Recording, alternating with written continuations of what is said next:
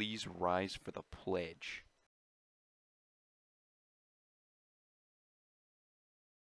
I pledge allegiance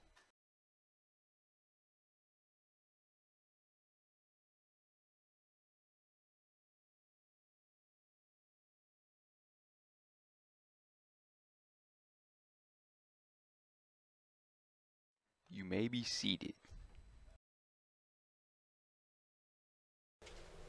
Today's choice of lunch is buffalo or barbecue wings with tater tots, fruit, and glazed carrots. Tomorrow there's an FFA meeting during advisory in Miss Riedel's room. Wednesday, there's also a Game Masters meeting in the auditorium. Make sure to check in with your advisory teachers before going.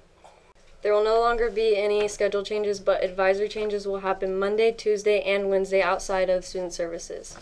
Schedule changes for second semester will happen late November, early December. Wednesday is picture day during your PE or study hall in the main gym.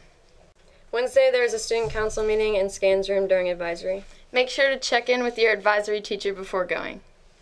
Here's a link to this year's PTO maroon gear.